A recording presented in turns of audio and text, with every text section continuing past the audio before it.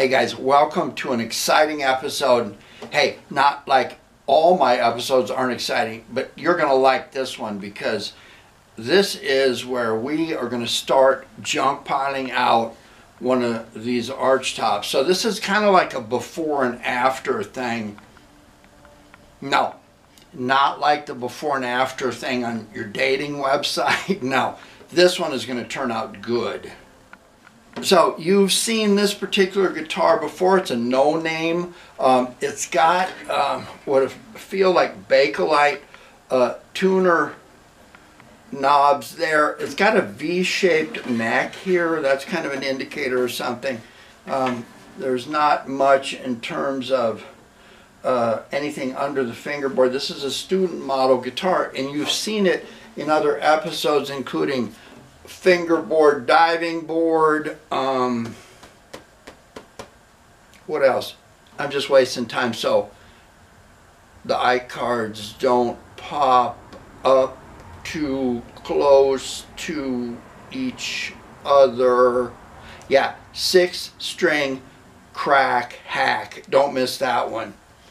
Anyway, I really could have named this guitar, or this episode, excuse me, Coveter's Corner because this guitar is beautiful. Anytime I show uh, someone this guitar, they all freak out. It's like, wow, that is a beautiful, that is the most beautiful thing I ever saw. Maybe it's because it's blonde. No, not me. The guitar.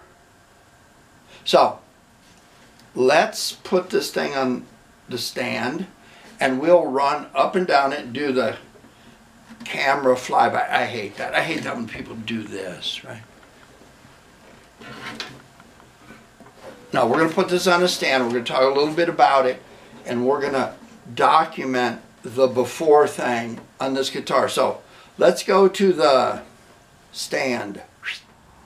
Oh, before I forget, let's get some housekeeping out of the way.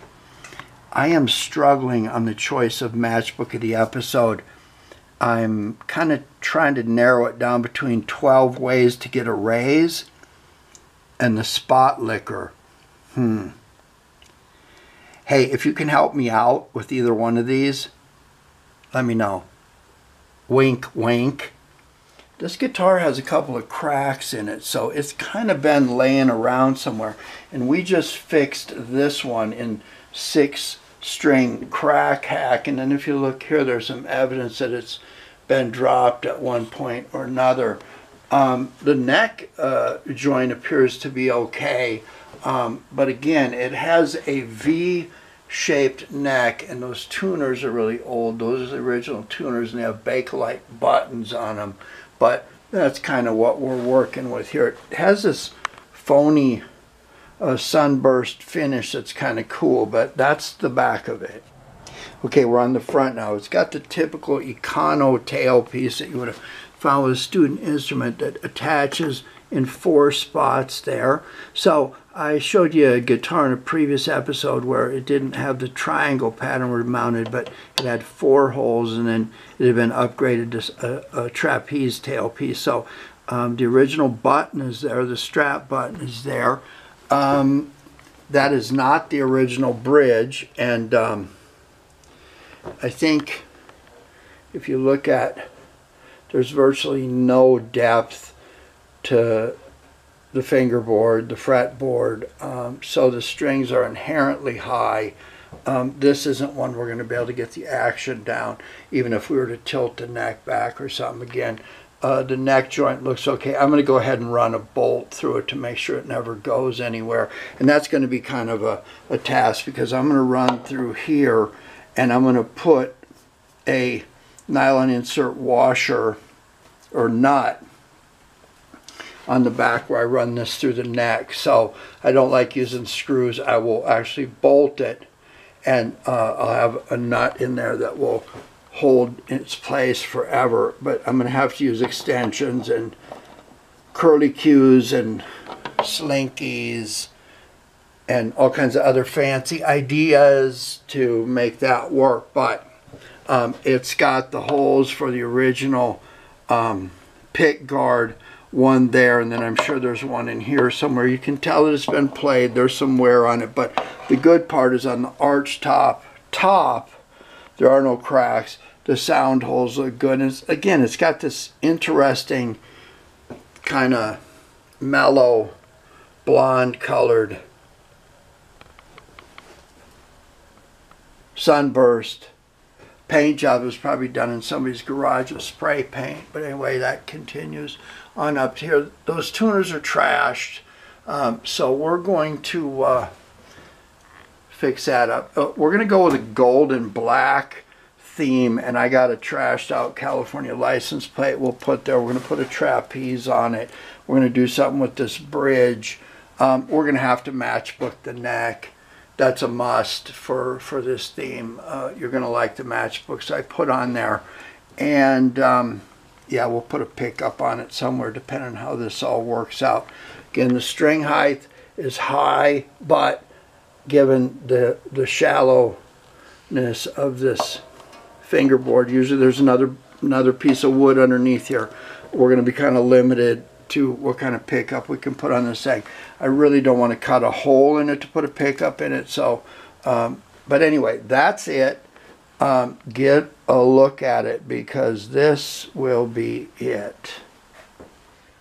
All right, guys, we are going to start on this project by working the headstock of the guitar. These tuners are awesome, but they're old. The buttons are starting to come off. So we're going to put some different um, tuners on here. I want you to notice that this this does have binding along the edge of the fretboard. Um, we're going to be careful with that, but if you remember, we did an episode called The Cure to Creativity. There's a link right up there, right about now, in which I showed you how to take this bag system. Canvas bags are cheap. We put a little notebook on there. Of course, Chick Flick Teal Yes, I have a plethora of chick flick teal uh, notebooks. Um, composition books is really what they are. We don't want to downsell anything and underrepresent it. But anyway, all of our stuff that we're going to need to fix up this guitar is in this bag. So think about getting that out of the way. There's a lot of stress that goes out the window when you know you have your part. So we are going to take our Ernie Ball string winder and put it to work. Uh, unfortunately, um, there's one of these tuner pegs that's broke off. See it there? So we're going to play the vice grips, vice grips, uh, twist and shout method to get that off. But anyway, I'm going to unwind this and I'm going to pull these tuners off of here. And then we are going to put a graphic on the front that matches the California junk pile theme there, and we're going to take a look at fixing this up, and and uh, and then finally, we are going to think about matchbook in the neck.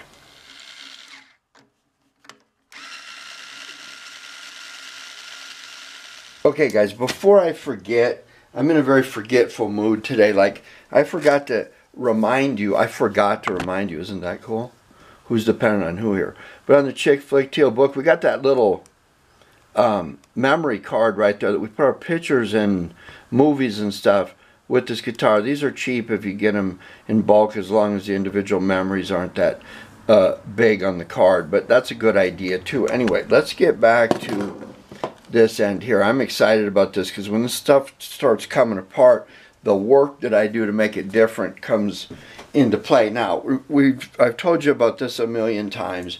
Um, when you take the bridge off of a guitar, we want to remember that the scale length is the distance between the back of the knot right there and the crown of the bridge okay and um, you can tell where to put the bridge by finding the middle of the 12th fret measuring the back of the nut to the middle of the 12th fret and then that same distance is the distance you need to put between the 12th fret and where the bridge goes. Now, anyway, when I take this bridge off, I'm going to push down it, make sure it stays in place, and then I'm going to take three pieces of this binding tape that's relatively low tack and make sure I mark where that bridge sat because if I do that, I don't have to go through and figure out how to re-intonate this thing by making sure the bridge is in the right place because I know it is with these marks. So take the time to do that and now you can see that there's these little pockets that that bridge will just fit right into. I'm going to take the bridge of course and put it in the canvas bag over here where all my parts are and then I don't have to worry about it. And then I'll tape these strings out of the way like so.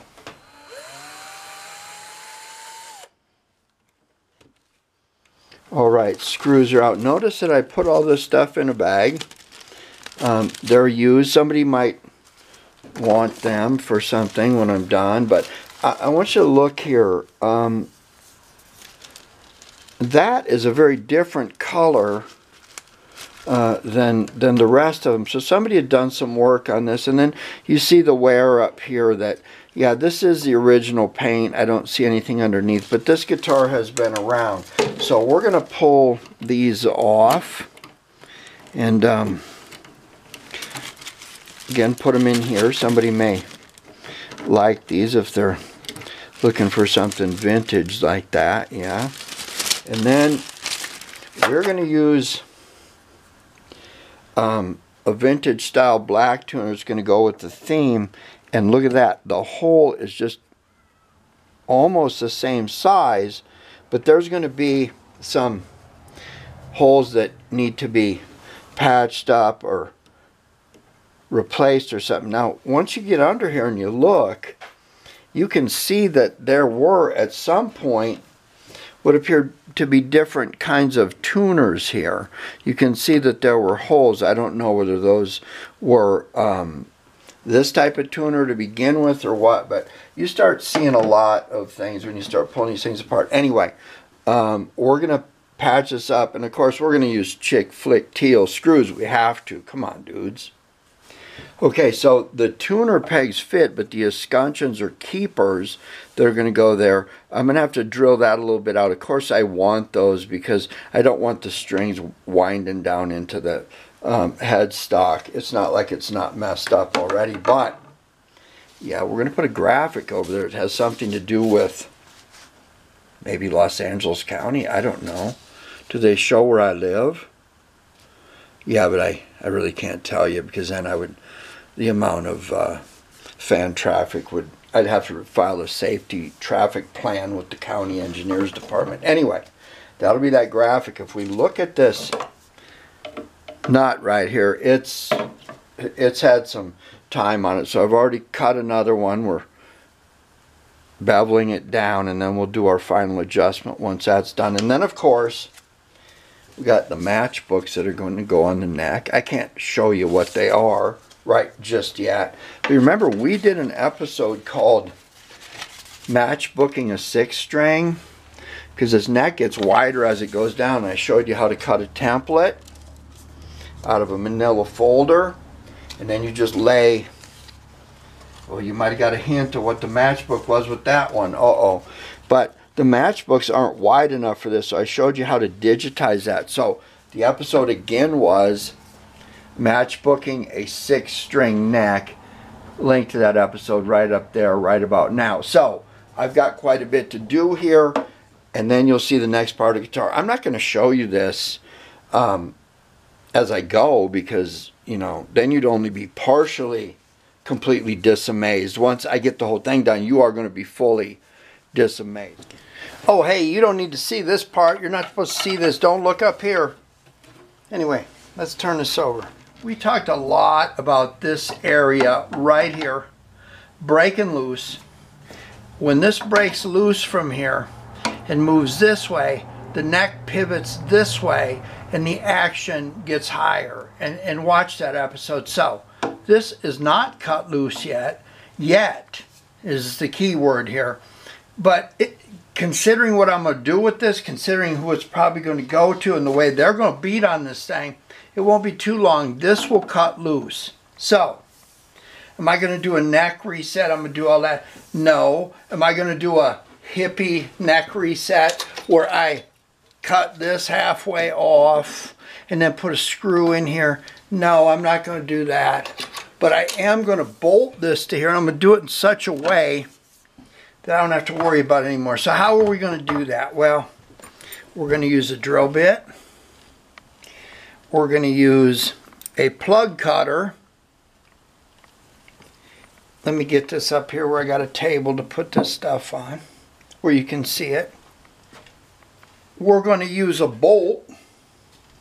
We're going to use a piece of wood since this is a California junk pile, we're going to use a piece of wood that come out of a significant place uh, in California, like maybe something to do with Alan Wilson. So what we are going to do here is we are going to drill a hole through right here and bolt this on in a way where we don't have to use a screw. Okay guys, let's catch up. We have bolted the neck right here and we didn't just run a screw in it we bolted it through uh, there's a piece of blocking back here we bolted that through using a steel bolt with a washer that's mounted into a pocket here and then on the inside it's got this fender washer and a nylon insert or stop nut. So this isn't going anywhere. And then we covered it up with a piece of relic wood from a historically significant house in California that we've heard about before. Anyway, I did all this in an episode that you'll see called bolting a bad arch top neck and that is right up there right about now. Okay, we have put a themed treatment on the back of the body of the guitar with a little help from our friends at Earl Lube Paste. And now I'm going along where the creases are and we're going to take some 400 grit paper and just go over this and knock it down, age it a little bit, take these ridges off of here like so and make it where it doesn't snag up on the player and make it look as old and junky as it really is.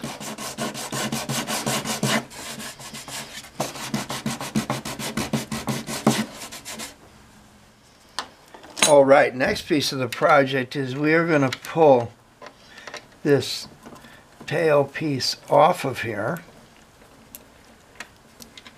It just amazes me the little screws that hold these things on given the tension they get under. But again, we've learned in the back uh, in a past episode, excuse me, that most of the pressure is actually right here and not here. But anyway, we're going to beef this up and we're going to put um, this on here, which still gives us room up here where the bridge goes.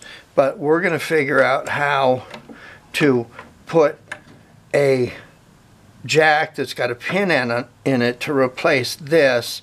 And of course, we'll have to do some grounding and stuff and I think you've seen this kind of stuff before in an episode called Tore Up Tailpiece, right about there, right about now.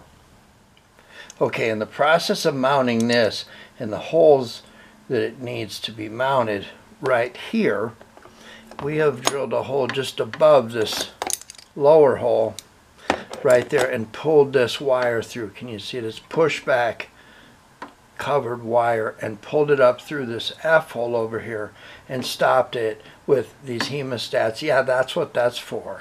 And this piece of gauging wood that I use for something else. But anyway, that wire will be wrapped around the screws that hold this on and will ground the strings through the said trapeze tailpiece so the coil doesn't buzz while this thing is screaming in some dive bar being trashed on by somebody who knows three chords and a slide.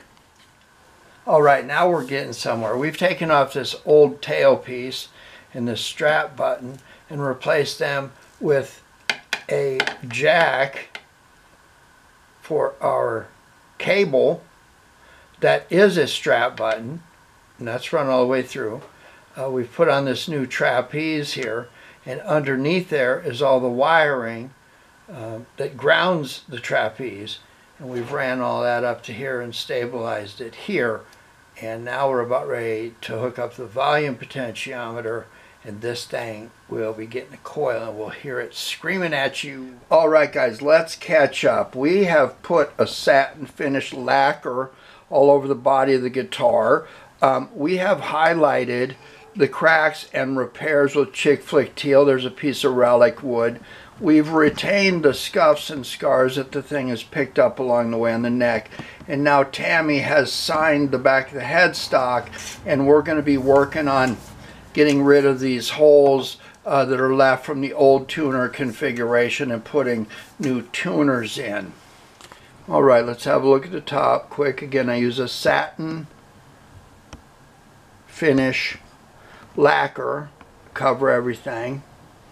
And now we're going to take a look up here at the headstock. Now, I am using these black closed gears covered vintage style tuners and these escutcheons, that's what they're called, escutcheons, that sit in here. It's best if they're tapered because if you go to drive them in, you might split something. And if you're working on like a, a really expensive guitar, you're not going to want to make that mistake. So before I drive those in, and I'm going to put a little bit of glue on them before I do that. And um, I use Duco cement for that. That's good stuff. Um, because I don't want these working loose and all that kind of thing. But so I'm going to take this countersink tool. Now, if you get a countersink tool, one with more of these than less, these cutting fins, more than less is good because if you just have two, it flops around and chips out. But we just go along and just lightly do that. Gives us a little taper and it gets that paper out of the way. We just blow that out. Gonna put a little Duco cement right here and drive these in.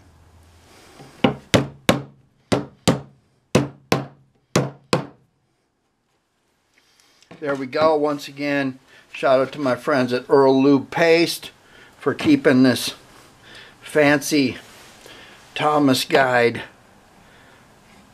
map on here for the headstock graphic and to my friends at the Monrovia, whatever it is, va vaccinated for rabies 642, tag number 642, 630, 1967. So you don't have to worry about getting rabies.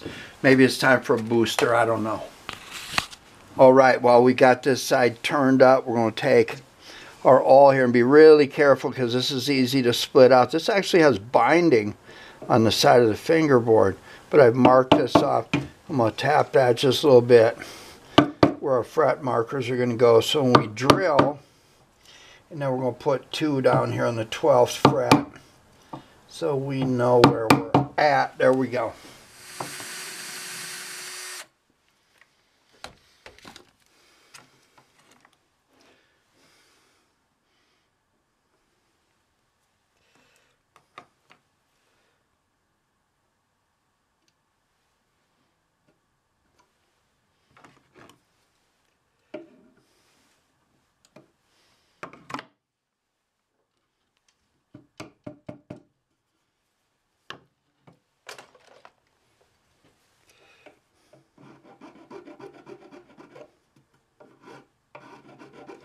Oh, little trick here. When these holes don't line up, or even if they do, just put a little spot of glue there because these holes are a little bit big. We don't want these tuners getting sloppy after a while. So you just take one of your bacon flavored toothpicks and you just stick it in there like that and you just snap it off like so and then you're just going to take your file here like this and pop that off there and then sand it down so the so the tuner will drop right in there. And the screw has some fresh wood to grab onto for the next 60 years. There we go little trick. Very expensive trick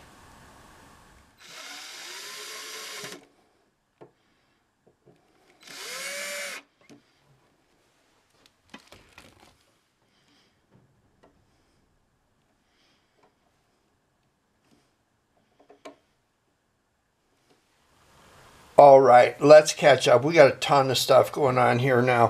First off, we're going to put our um, pin and jack. This will take the place of a strap button and give us our jack. And um, of course, we don't want to forget to use shrink wrap um, when this thing goes back in the body because it's going to be in there for 10,000 years till you see it again on Antiques Roadshow. We've got a bridge here that we've got to take a lot out of. We put some strings on this thing. It's finally making a little noise. There we go. But we've got to cut this bridge down and we're also going to dye the bridge. Not like you dye your hair when it gets gray with this stuff. It, this will work real good. I don't know. I don't have that issue. But we're going to use India ink to make this bridge match the rest of the motif. Um, what else we got going? Oh, yeah, we're taking this perfectly awful California license plate from 1958 and making a pick guard out of it. And um, just some general wiring and stuff like that. Um, but we're getting close. I'll see you in a bit.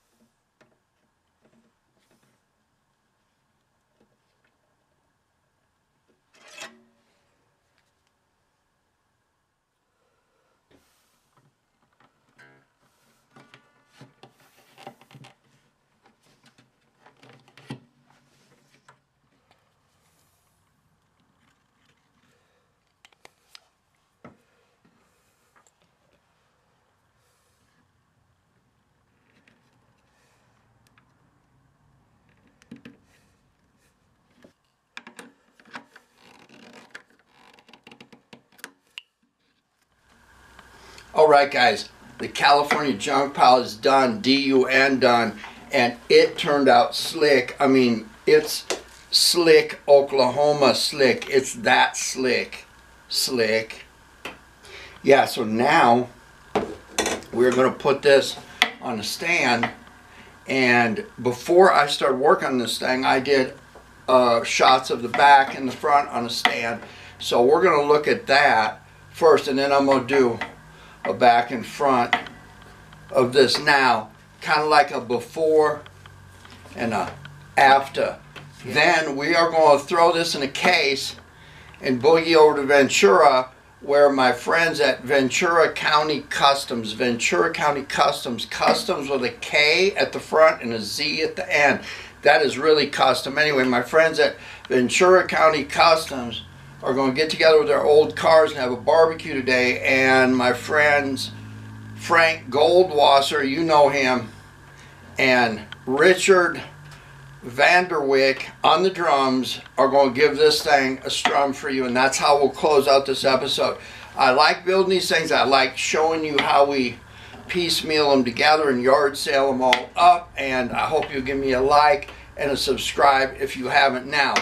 Let's take a look at the before and after. This is good stuff, dude. Guaranteed. Works better than onions and all that other chick flick trick that I taught you. This is good stuff. Anyway, we're going to get done with this if I ever quit talking, and then we will uh, go to Ventura and you'll be able to hear this thing. It sounds better than it looks. Let's go.